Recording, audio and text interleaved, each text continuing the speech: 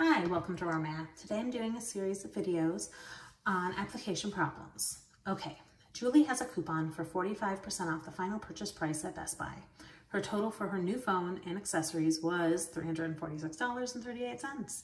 If the tax rate is 5.5%, what will Julie's final bill be? Okay, so what we need to do is figure out the coupon, and then the tax rate. And I'm going to show you how to do this two ways because there's two, uh, two ways students often like to approach it. I want you to see that it's going to be the same price no matter what. So first of all, um, if she has a coupon for 45% off, 100% minus 45% means she's actually paying 55%. So um, if we use a proportion with percents, 100% of the bill is $346.38, and we want to know what 55% is. So we are going to cross multiply. So 100x is equal to 19,050.9. We divide by 100 and x is equal to 190.509. We then want to figure out the tax. Well, the tax is 5.5%, but it's really 100% plus 5.5%. So when you're paying tax, you're really paying 105.5%. So we're gonna set up that same kind of proportion again. So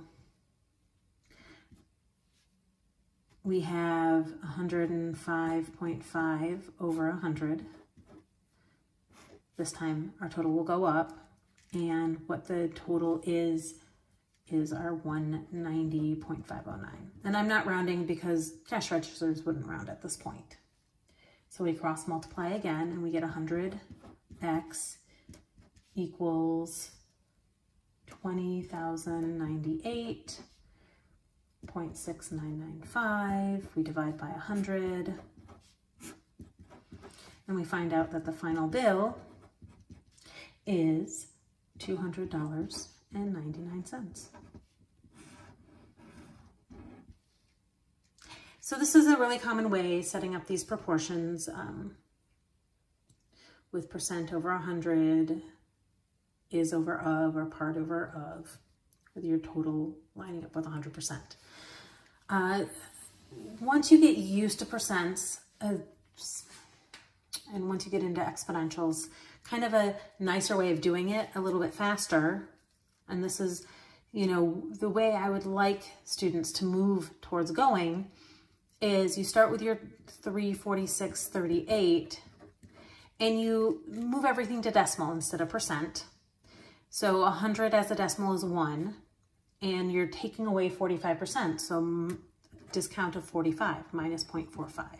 And you just throw that into your calculator. So instead of doing all of this, you just do 1 minus 0.45. You throw that into your calculator and you get 190.509 in one step. Quite nice. Then for the tax, you take 190.509 Again, start with 1 representing 100% plus, and that's our tax rate, so 0 0.055. And you throw this into your calculator, and what comes out is 200.99.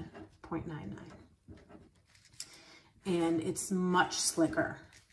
100 minus discount as a percent, percent as a decimal, 100 plus tax as a decimal. This is a much easier way to read and it's a lot less clunky. So this is the way I would like students to move, but a lot of students still like the cross multiplication of percents. All right, I hope you've enjoyed this video. Please subscribe to my YouTube channel, like my Facebook page, and I will see you on the next video. Thanks.